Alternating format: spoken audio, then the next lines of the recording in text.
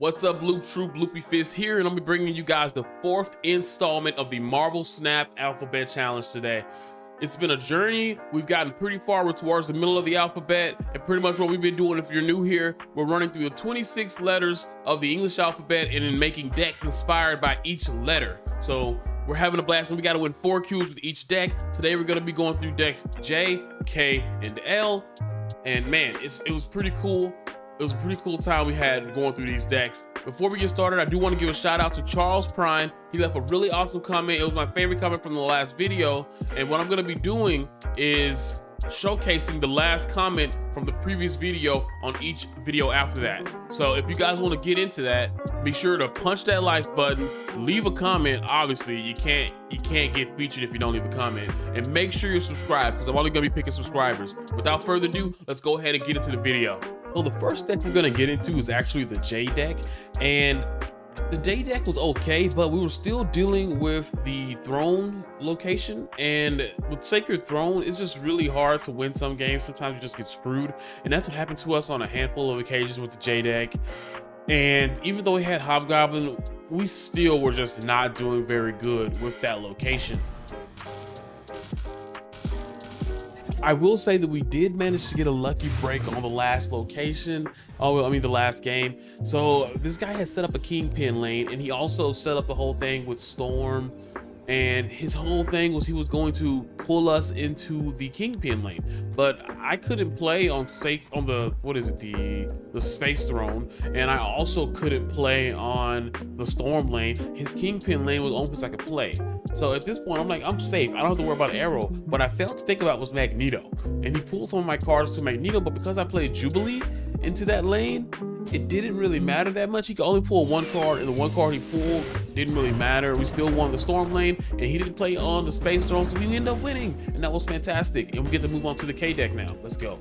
Now, as for the K deck, we actually had a little bit of, uh, of a weird first game we actually went up against some sort of a junk deck and they just couldn't kind of catch us off guard. We had Carnage for the trash they threw over on our side. Um, the Black Widow kind of stopped us from pulling a card, but let's be honest here, we're playing a deck of cards I don't even know how the combos are going to go, so it didn't really mess up anything. And we finally actually managed to snap and bluff, and they just didn't think, I mean, we literally bluffed with a rock in our hand. And I mean, I just gotta say, you know, when it comes to Ben Brode says the best time to snap is always when you have a fistful of rocks. And let's be honest, we had a loopy fistful of rocks and we snapped and we got one cube. After that, we actually end up losing the next game to some really bad locations. I know you guys have never seen that before in Marvel Snap, right? Yikes. Um, and a really good Professor X from the enemy, which, you know, th things happen, right? I gotta get upset about it, am I? No, I'm not. After taking that loss on the chin, we managed to actually take the next game. We managed to snag two cubes from somebody who, again was playing Professor X, utilizing the, uh, the space throne lane, but they got a little too Professor X happy, and they managed to just forget about the other two lanes, and we just took them from them. Next game also had a bit of a weird situation that happened. Um, Space Throne, yet again, I know you guys are probably tired of seeing that location. I was as well that night. But we actually morph into their Red Skull, but unfortunately they zero into theirs, which gives them the win on the Space Throne lane. Who'd have thought? And we would have lost this game, but for some reason they just couldn't do math properly. They dropped Typhoid Mary down and we win. I know it's kind of anticlimactic, but hey, look, we take those four Qs and we run with them. On to the next deck, that is which is actually going to be the last deck, and it's going to be K. And we actually start this one off with a win. It was kind of a weird win. Um, we were going up against a Patriot deck, and they just didn't manage to pull Patriot, I guess, and we managed to win two lanes. It's actually funny because they actually had a Misty Knight sitting over on the Space Throne, and they had to breed a rock into ours.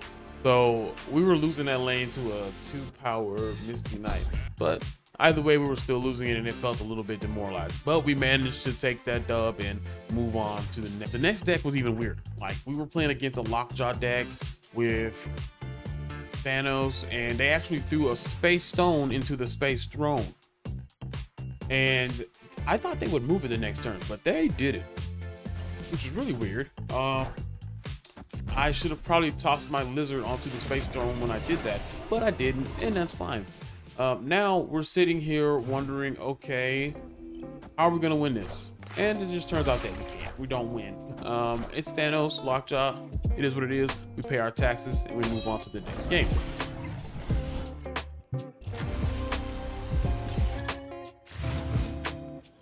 All right, guys. So here comes the last game, and this one was on. It's not, not even biased, but this, one was the best one yet. So typically, you really hate to see Lamentis one, but we love it because we don't have any cards in our deck that are good, anyways, right? Do we have no synergy? We just destroy decks that have combos, and we run into a deck that has like that is completely combo like dependent.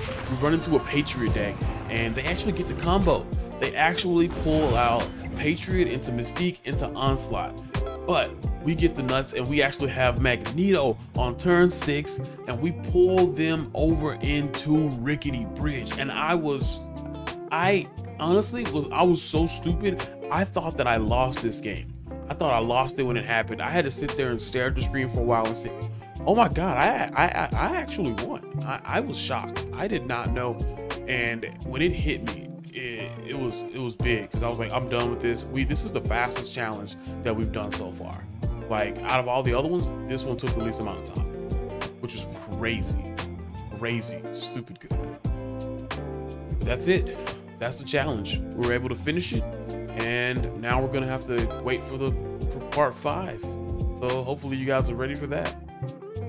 All right, guys, that does it for the video today. Um, can't wait for the next installment to be posted. In the meantime, if you want to be featured in the next video, be sure to leave a comment down below. Make sure that you're subscribed to the channel.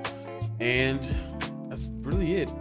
Like the video if you can. Besides that, here's another video you guys can check out in the meantime until I post the next one, which hopefully is very soon.